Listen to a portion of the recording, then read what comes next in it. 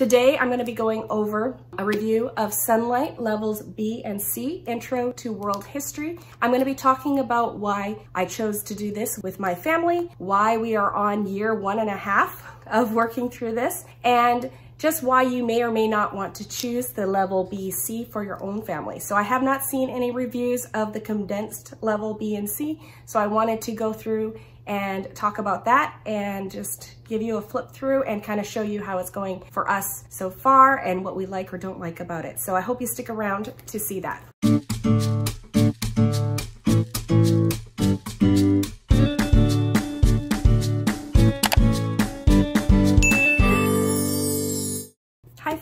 Welcome back to Calm in the Chaos Homeschool. My name is Davine and on my channel I like to talk about how we are doing homeschool for our family, how I teach my four students together, ages 9 through 13, so grades 3, 4, 5, and 6. And I also like to do curriculum flip throughs and reviews. And currently I'm working on a series called How to Start Homeschooling. And it's specifically for those who are currently in the public school or are just moving out of public school into homeschooling. If you're interested in any of that sort of content, don't forget to like this video and subscribe and click the bell notification. All right, so let's get into what is in Sonlight's condensed BNC Intro to World History. Okay, so here's the very beginning. So I purchased this in 2020. So just so you know, Sonlight does change their curriculum every so often, but they don't make huge changes. It's usually a book or two. So this should be very similar, unless this is years and years later, it should be very similar to what is available right now. So with Sonlight, you get Bible, you get history, and you get read alouds. And then for B and C, you would be buying readers for your children. So there's levels one, two, three, four, and five, depending on the reading level of your children. So today I'm just going to be going over what comes with this if you buy the set. This without the readers. All right, so Bible, we get Sing the Word, God Our Provider CD. All right, so here's the God Our Provider CD. And what is great about this is all the scripture verses, they have songs for them. And so it's really helpful in helping us memorize the scripture. So that's a really good thing to have. All right, so for the history portion, it comes with a number of items here. So I'm just gonna go through and show you what I still have. I don't have every piece. I kind of pieced this together myself. I only purchased the guide and then I found things used and found that just pieced it together myself. So I'm gonna show you whatever I have here. But the Usborne Book of World History, I have the Usborne Encyclopedia of World History. So I did purchase the Usborne Book of World History, the one that went with this series, but I've been using this one instead and that works okay. The pages don't exactly line up, so I do suggest you finding the same one as the one that they talk about here. So the Usborne Book of World History, just so you know kind of what it looks like inside. Uh, this is uh, the encyclopedia, but it's gonna be very similar. A lot of pictures, little paragraphs, and I would say when we first started, reading a two-page spread was more of a challenge, but at this point we can get through two two-page spreads. So our endurance for learning information is getting a little more as we go along. So that's kind of what that looks like inside this book here.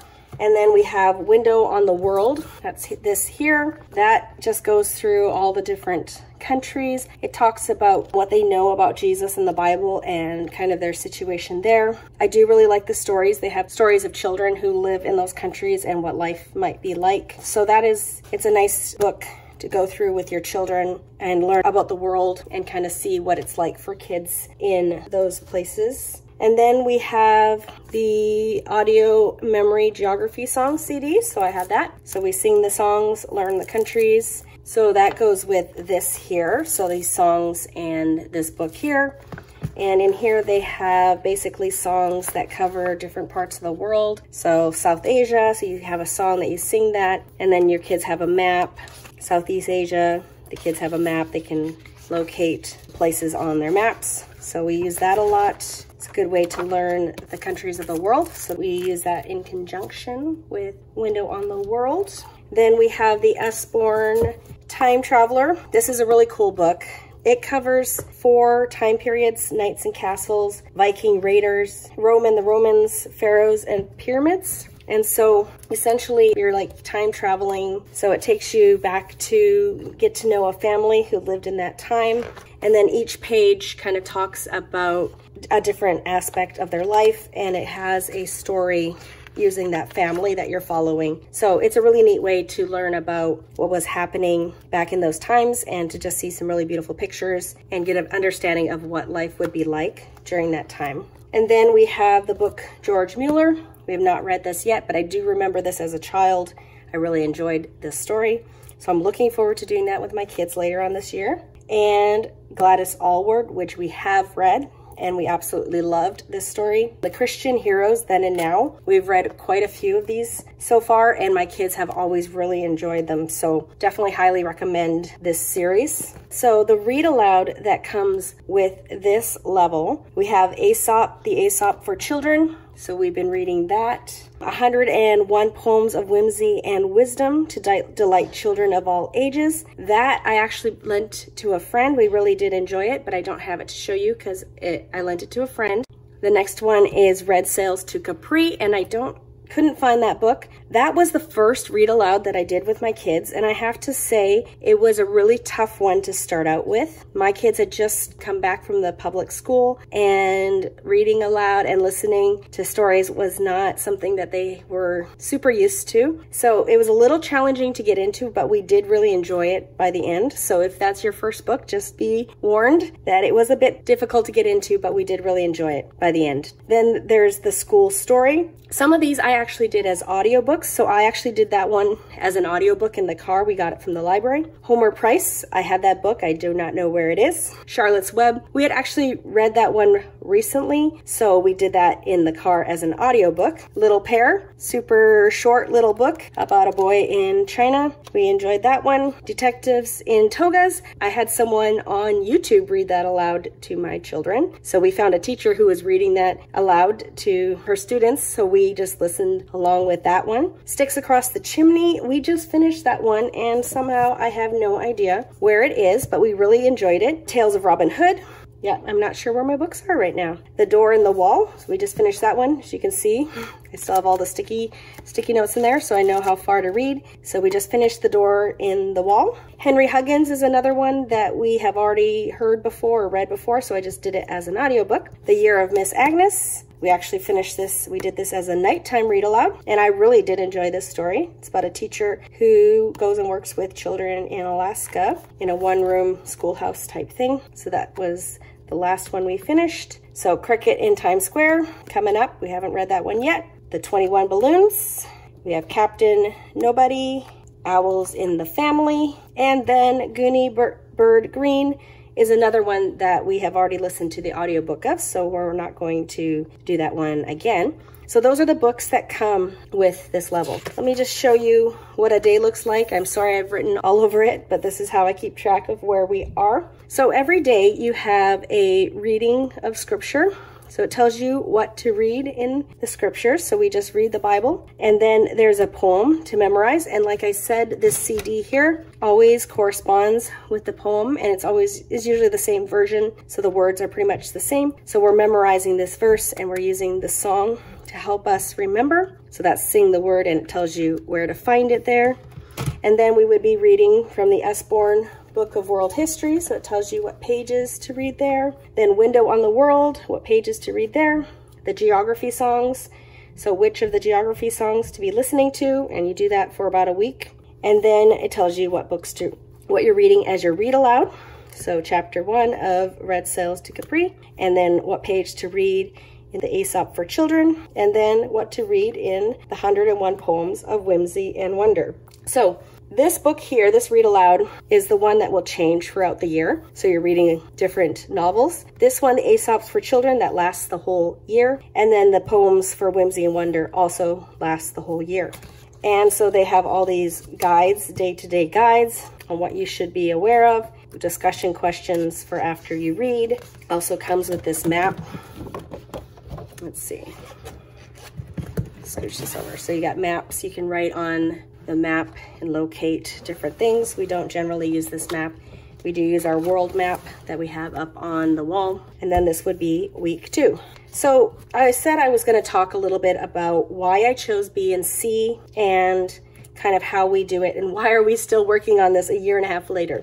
I chose B and C because my children are now, they started out, they were eight to 12 and now they're nine to 13.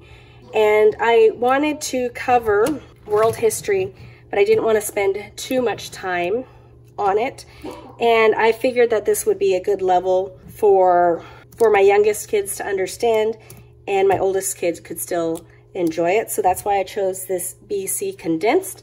I had no idea when I started that it was going to take me, basically it's taken me two years to go through it. I'm planning on finishing it by the end of this year, but it is taking me two years. Now, the reason why it's taking me two years to go through this is I supplement a lot and I I have a very hard time sticking with one curriculum, so I do really enjoy this, but my friend lent me her My Father's World Countries and Cultures, so I've added that in. I'm doing that over two years as well. So we're combining what we're learning in Sonlight's geography with I'm smushing it together with um, the My Father's World Countries and Cultures. So we're doing a lot of geography this year as well. And then I also picked up, for when we get to the early explorers, I also picked up Beautiful Feet and their primary, the early American history. So we're also, whenever we hit that part, part in here, we're stopping and we're doing the Beautiful Feet. So a lot of supplementation. So that is why it's taking us this long. And so I will be doing the next level I'll be doing is going to be D and E combined because I'm afraid that I'm going to be taking two years to do that as well. So I'm not doing it one year. So that might be a reason why you might want to get the B and C condensed if you're going to supplement a lot and you know it's going to take you probably longer than it should to get through and your kids are on the older side, then you might want to get the B and C condensed. All right, so what I did not go through here is the readers that my children were doing during this time. Last year I got for my, they were last year in fourth and fifth grade, my fourth and fifth grade girls. They were doing the level four readers along with this. And then my boys were doing kind of a mishmash of whatever I could find of more of the level two. So my, they were the second, second and third graders at the time. So they were doing the level two readers and I just picked up whatever I could find at the library for them to read out loud. And then the girls, I actually did buy the readers and the guide and the comprehension questions. So that's what we did last year. So this year we're still working on this. And so what I'm doing for my girls this year is I picked up as many of the level five readers as I could get, the Sonlights recommended readers for level five. So I've found a bunch of those at the library and we're not doing the reading comprehensions. They're just reading the books and narrating to me. So they're doing that. And then my boys, I've just kind of also looked at the level three readers and I also found books that go along with history that are at their reading level. So when we're doing Vikings, we did like Viking Adventure by Clyde Bulla, things like that. So that's what we've been doing for our reading. Thanks for joining me today. I hope that was helpful. If you want to see more future content like this, don't forget to like and subscribe and hit the bell notification so you're notified whenever a video goes up. Don't forget to join the Facebook group. I'll link it below. We have a Facebook group that is a group that I am hoping will be a great place for you to ask questions and get answers from more people than just myself. So come and join us there and I hope to see you again in the next video. Thanks for coming today. Bye-bye.